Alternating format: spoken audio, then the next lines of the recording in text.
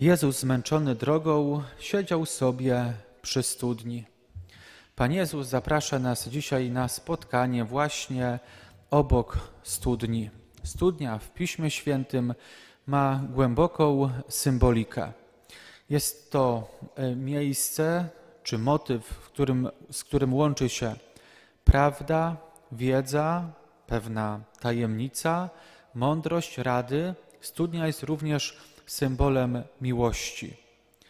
Studnia to miejsce spotkania. Pan Jezus y, spotyka się z kobietą, Samarytanką i objawia jej prawdę. Daje jej tę najczystszą wodę, samego siebie. Rzekła do niego kobieta: Wiem, że przyjdzie Mesjasz zwany Chrystusem, a kiedy on przyjdzie, objawi nam wszystko. Powiedział do niej Jezus: Jestem nim ja, który z Tobą mówię. Chrystus przy studni odkrywa przed nią prawdę o sobie samym, że jest Mesjaszem, ale także mówi prawdę o tej kobiecie, o historii jej życia, o tym, co aktualnie przeżywa, o tym, czego na głębinach pragnie jej serce. I kiedy popatrzymy na różne historie biblijne, także widzimy, że studnia jest miejscem spotkania. Tam ludzie przychodzili z wiosek, z miasteczek po wodę do codziennego użytku. Tam rozmawiali, wymieniali swoje poglądy, swoje zdania, śmiali się, kłócili, czasami nawet e, zakochiwali. Kiedy pasterze przychodzili e, z owcami, to także ustawiali się w kolejce, kiedy poszczególne stada zostały e, napojone, i w tym oczekiwaniu to była także okazja do rozmowy, do zdobywania wiedzy, różnych rad, e, wymiany poglądów. Pan Jezus dzisiaj zaprasza nas do studni swojej prawdy. I ta prawda jest nam potrzebna, bardzo potrzebna.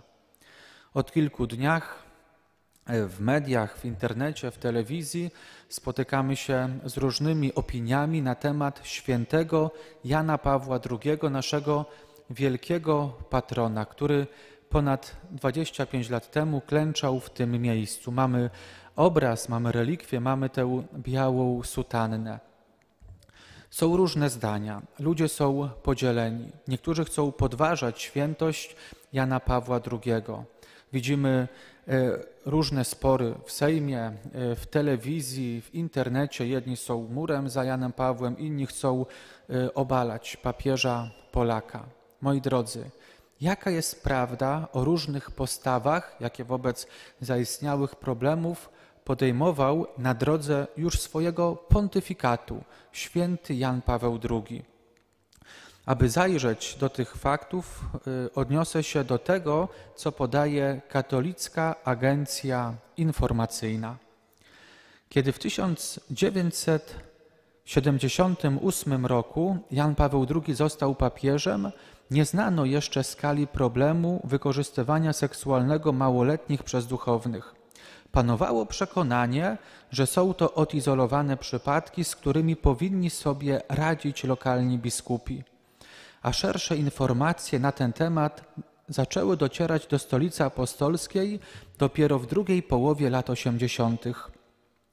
Kiedy więc w 1983 roku Jan Paweł II ogłosił nowy kodeks prawa kanonicznego, przygotowywany od czasów Soboru, skala problemu nie była jeszcze rozpoznana, a świadomość przestępstw pedofilii w Kościele była znikoma. Podkreślano natomiast potrzebę decentralizacji Kościoła i przekazywania wielu kompetencji ze stolicy apostolskiej do diecezji. Dlatego w kanonie 1395 znalazł się bardziej ogólny w stosunku do kodeksu z 1917 roku zapis mówiący, że duchowny, który wykroczył przeciwko szóstemu przykazaniu dekalogu z osobą małoletnią poniżej 16 lat, powinien być ukarany sprawiedliwymi karami, nie wyłączając w razie potrzeby wydalenia ze stanu duchownego. Nie było tam natomiast szczegółowego wyliczania możliwych kar. Decyzję w ich sprawie pozostawiono ocenie biskupa, który na szczeblu lokalnym miał się zajmować sprawą. Krytycy nowych zapisów podkreślali, że pedofilia nie została tu zaliczona do szczególnie poważnych przestępstw, lecz umieszczono ją wśród przestępstw przeciw specjalnym obowiązkom. Wyrażono przez to nadzieję, że biskupi na szczeblach diecezji w mniejszych środowiskach lepiej poradzą sobie z problemem. W 1989 roku Stolica Apostolska przystąpiła do ONZ-owskiej Konwencji o prawach dziecka, która między innymi zobowiązuje do ochrony małoletnich przed wykorzystaniem w celach seksualnych. W 1992 roku Jan Paweł II ogłosił katechizm Kościoła katolickiego. Pedofilii dotyczą cztery punkty i jest w nich nazwana zgorszeniem i deprawacją. Katechizm przyznaje, że nadużycia seksualne popełnione przez dorosłych na dzieciach lub młodzieży powierzonych ich opiece są grzechem będącym jednocześnie gorszącym zamachem na integralność fizyczną i moralną młodych, którzy będą nosić jego piętno przez całe życie oraz pogwałceniem odpowiedzialności wychowawczej. Można więc przyjąć, na podstawie decyzji papieża i ogłaszanych przez niego dokumentów, że już na przełomie lat 80. i 90. Jan Paweł II zaczynał zdawać sobie sprawę z powagi problemu i dostrzegał potrzebę podjęcia szerzej zakrojonych działań mających na celu przeciwdziałanie przestępstwom seksualnym wobec małoletnich w Kościele i karanie ich sprawców. Ponadto obok wymiaru moralnego i prawnokarnego miał również świadomość niszczących skutków tych przestępstw w dorosłym życiu ofiar. W połowie lat 90. papież Polak zajął się narastającą sytuacją w Stanach Zjednoczonych, skąd docierało do Watykanu najwięcej sygnałów o przestępstwach seksualnych duchownych. W 1993 roku po serii spotkań z amerykańskimi biskupami w ramach ich okresowej wizyty ad limina apostolorum Jan Paweł II wystosował do nich list.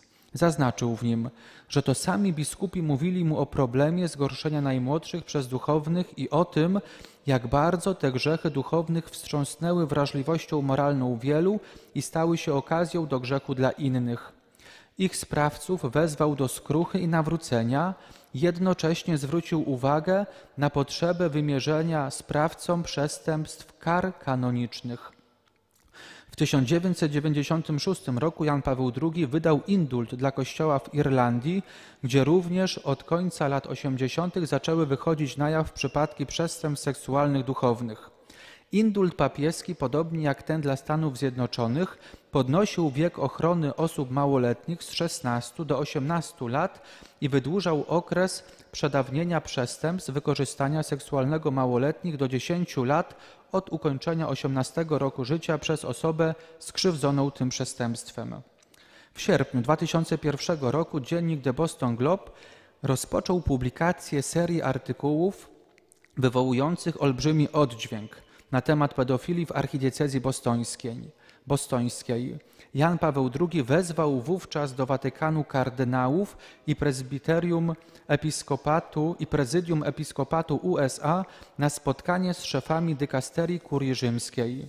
Przemawiając do nich w kwietniu 2002 roku, dokonał całościowej analizy problemu, która miała zakończyć negowanie problemu lub ukrywanie faktów. Stanowczo stwierdził dalej, że ludzie muszą wiedzieć, że w stanie kapłańskim i życiu zakonnym nie ma miejsca dla tych, którzy krzywdziliby młodych. Takie było rozumienie zasady zero tolerancji przez Jana Pawła II. W grudniu 2002 roku Stolica Apostolska zatwierdziła ostateczną wersję norm postępowania diecezji w sprawie zarzutów seksualnego wykorzystania małoletnich przez księży i diakonów przyjętą przez amerykańskich biskupów. Normy stanowiły też, że po otrzymaniu informacji o zarzutach wobec księdza lub diakona przeprowadzone zostanie wstępne dochodzenie, a gdy zostaną zgromadzone wystarczające dowody, poinformowana zostanie o tym kongregacja nauki wiary. Biskup zwolni oskarżonego z posługi lub też z urzędu kościelnego, czy też sprawowanej funkcji, wprowadzi zakaz mieszkania w danym miejscu i publicznego udziału w sprawowaniu Eucharystii aż do czasu ogłoszenia wyniku procesu. A jeśli potwierdzi się choćby pojedynczy akt seksualnego wykorzystania przez księdza lub diakona, osoba ta zostanie na stałe zwolniona z posługi kościelnej, nie wyłączając wykluczenia ze stanu duchownego. Doświadczenia amerykańskie i irlandzkie oraz doniesienia o przypadkach przestępstw seksualnych duchownych w innych częściach świata doprowadziły do wydania z osobistej inicjatywy Jana Pawła II listu apostolskiego Sacramentorum Sanctitatis Tutella ochrona świętości sakramentów. Papież zatwierdził normy o najcięższych przestępstwach w Kościele. Jan Paweł II krzywdę wyrządzoną dzieciom w sferze seksualnej postawił w jednym szeregu z grzechami i przestępstwami, jakimi, takimi jak profanacja Eucharystii czy wykorzystanie do gorszących celów sakramentu pokuty przez spowiedników. Jest to jasny sygnał diagnostyczny, że dla papieża przyczyną kryzysu był kryzys wiary i że odpowiedzi na te przestępstwa należy szukać w nawróceniu serc do Boga. Jan Paweł II przewidywał, że przestępstwa wykorzystania seksualnego małoletnich nie są tylko problemem Kościoła w USA czy Irlandii, albo szerzej w świecie anglosaskim, lecz globalnym problemem Kościoła. Dlatego uznał, że zmiany regulacji kanonicznych w formie indultów dla kościołów w poszczególnych krajach są niewystarczające. Coraz bardziej był przekonany, że odpowiedź musi być globalna, z decydującym udziałem Stolicy Apostolskiej i w tym kierunku pracował. Jan Paweł II musiał mieć wątpliwości odnośnie do działań biskupów, skoro zdecydował, że ostateczny głos w osądzaniu spraw związanych z wykorzystaniem seksualnym małoletnich ma Stolica Apostolska.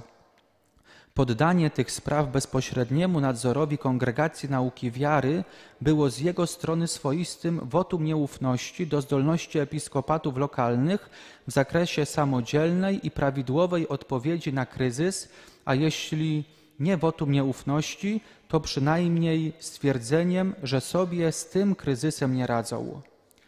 Jan Paweł II był pierwszym ze wszystkich papieży, który musiał się mierzyć ze skandalem wykorzystania seksualnego małoletnich przez duchownych. Ale w żadnym wypadku nie można powiedzieć, że informacje te banalizował lub pomniejszał przestępstwo i krzywdę. Kardynał Dziwisz podkreśla, iż fakt, że był on pierwszym papieżem, który zaczął się mierzyć z tą mroczną rzeczywistością, oznacza przede wszystkim, że on musiał się tego zjawiska po prostu uczyć. I uczył się wraz z kurią rzymską od kościołów lokalnych. W miarę jak się uczył, stawało się jasne, że w rozumieniu wagi problemu wyprzedził lokalne episkopaty i dał Kościołowi podstawowe instrumenty prawne, które kierunkowały odpowiedź całego Kościoła na kryzys wiary. To, co zapoczątkował Jan Paweł II w ostatnich latach swojego pontyfikatu, pomogło jego następcom, Benedyktowi XVI i Franciszkowi, jeszcze bardziej ulepszać narzędzia konieczne do oczyszczania Kościoła. Dodali oni do decyzji swojego poprzednika kolejne elementy obejmujące nie tylko surowe karanie sprawców i tych przełożonych, którzy kryli ich działania, ale również zapobieganie samym przestępstwom seksualnym, a przede wszystkim, przede wszystkim zajęcie się ich ofiarami. Moi drodzy, to są fakty. Pan Jezus dzisiaj zaprasza nas do studni prawdy. Prawdą jest to, że w zmaganiu się z tym problemem święty Jan Paweł II robił wszystko, co w jego mocy, aby te sprawy naprawić, aby oczyszczać Kościół. Prawdą jest również to, że zmagał się z różnymi ograniczeniami. Ale jedno w tym wszystkim jest pewne. Nic nie może podważyć świętości Jana Pawła II. Amen.